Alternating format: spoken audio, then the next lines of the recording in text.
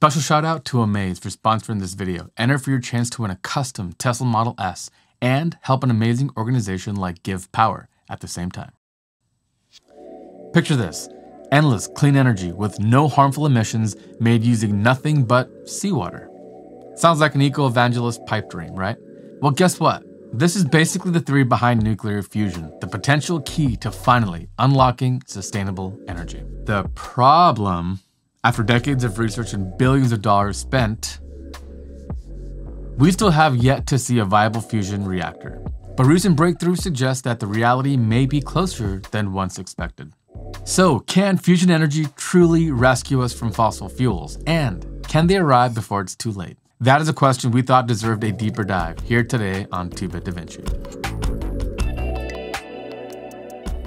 When it comes to energy efficiency, humanity has a pretty terrible track record.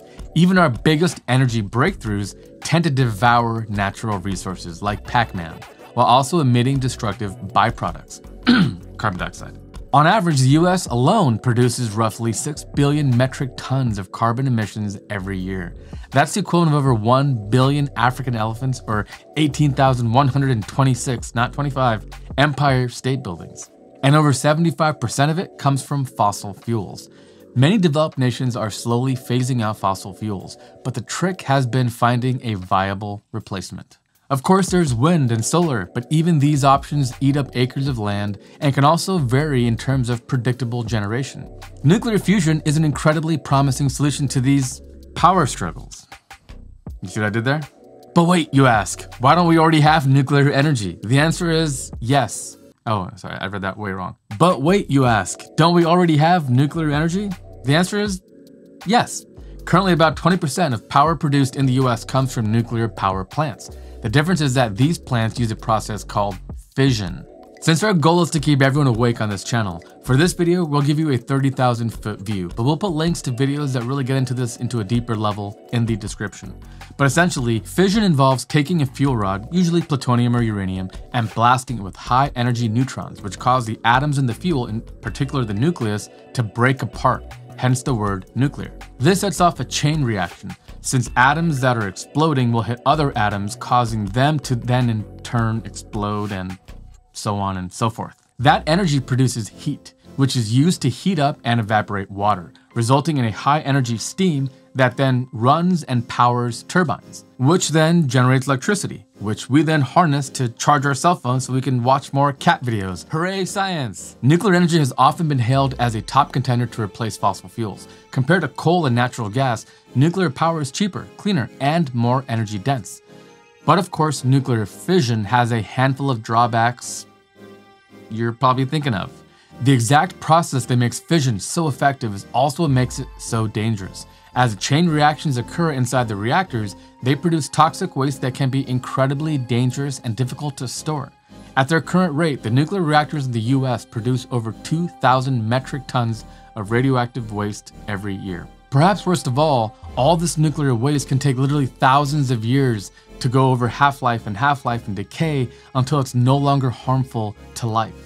And all this harmful waste this is just a natural end result when nuclear fission goes right. Nuclear meltdowns like the Chernobyl disaster, Fukushima, and Three Mile Island serve as bleak, worst case scenarios of what can happen when nuclear fission goes wrong. Fusion, on the other hand, is the exact opposite of fission, and it contains all the benefits with none of the risk.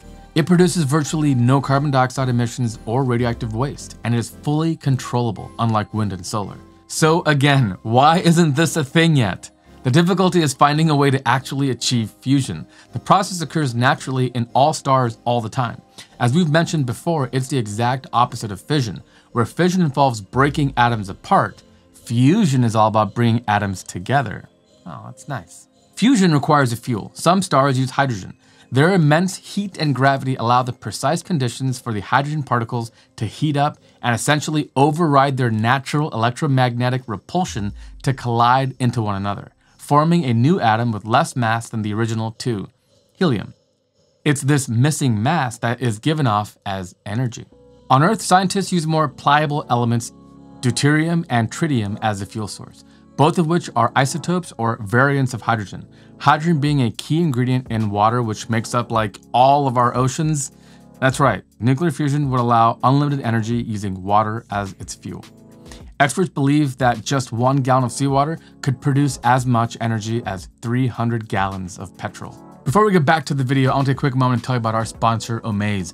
Omaze has been a long-term friend of the channel, and if you follow the link in the description, you'll get a chance to win a Tesla Model S and $20,000 cash. And it's not just your average Model S. This matte graphite Tesla was customized by the amazing people at Unplugged Performance. This beast is capable of 0 to 60 in 2.3 seconds and also comes with cool racing bits like a carbon fiber wide body kit, spoiler diffuser, and premium Tesla features like the biodefense air filtration system and full self-driving. And the win-win portion of this is that you'll be doing your part to help an amazing organization like Give Power, who use their solar water farms to provide clean water, food security, and electricity to regions in need around the world. They purify and desalinate water sourced from the ocean, providing long-term renewably powered drinking water solutions for many living in brutally dry conditions. So for your chance to win this amazing prize and help out an amazing organization, check out the link in the description. The problem with nuclear fusion has never really been with the what or the why, but rather the how. So far, scientists have really only cracked one surefire way of achieving nuclear fusion a nuclear explosion, essentially using nuclear fission to create a fusion explosion. But ideally, scientists are working on ways to achieve fusion without incinerating the cities they're trying to power. Speaking of blowing things up, there is no more surefire way to make sure this video blows up than by hitting that like button and letting YouTube know you're having a good time. And did you know that that actually will increase our chances of seeing nuclear fusion in our lifetimes? It's true. No, it won't. It's true. No, it won't just hit the like button. To do this is really simple. Just replicate the conditions of the sun in the laboratory.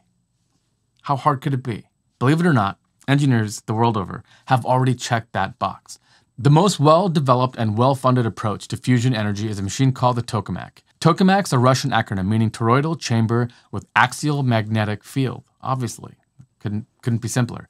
It emerged back in the 1960s and actually served as inspiration for Tony Stark's arc reactor. Tokamaks are powerful electromagnetic fields to confine heat and plasma inside a donut-shaped vacuum chamber between 150 and 300 million degrees centigrade. Other promising fusion technologies include inertial confinement fusion, where powerful pulse lasers or ion beams compress a small fuel pellet to extremely high densities. What isn't made better by using lasers? The resulting shockwave heats the plasma before it has time to dissipate. Nuclear fusion is so cool, even the kids are getting in on it. Literally.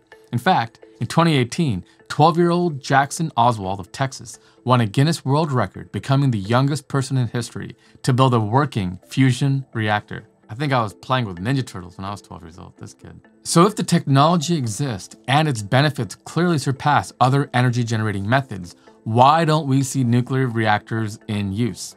The reality is that when it comes to fusion energy, there are a couple of catches. The first is efficiency. So far, no one has developed a fusion reactor that produces more energy than it consumes, what experts call the fusion energy gain factor, or Q factor.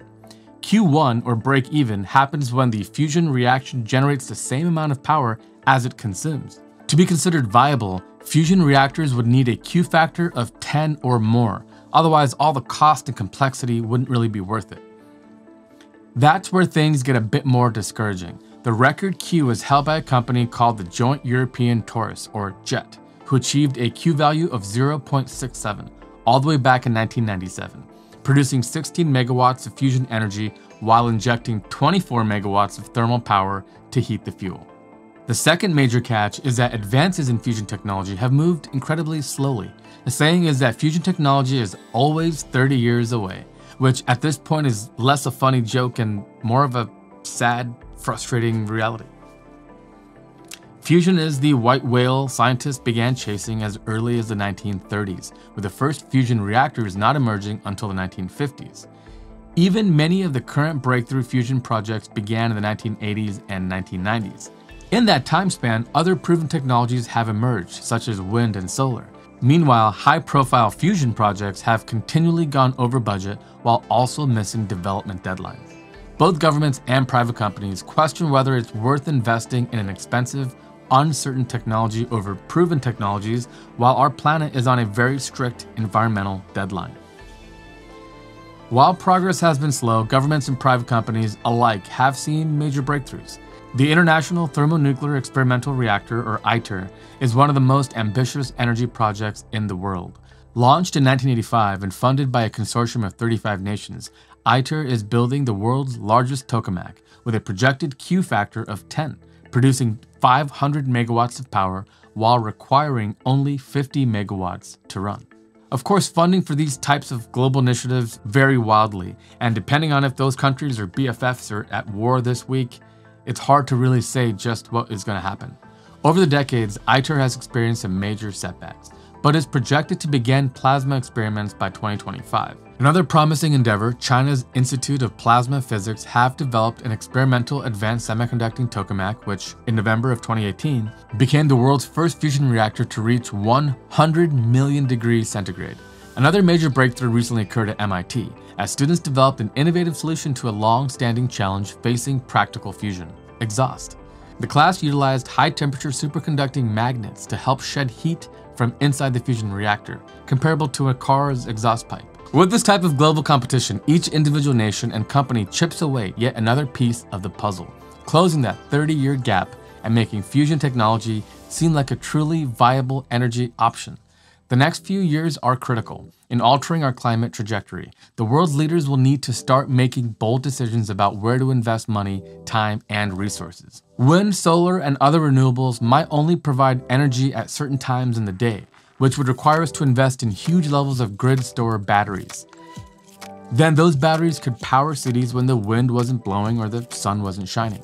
But in contrast, nuclear fusion is a base load power technology, capable of generating a steady, consistent output 24 hours a day, 7 days a week.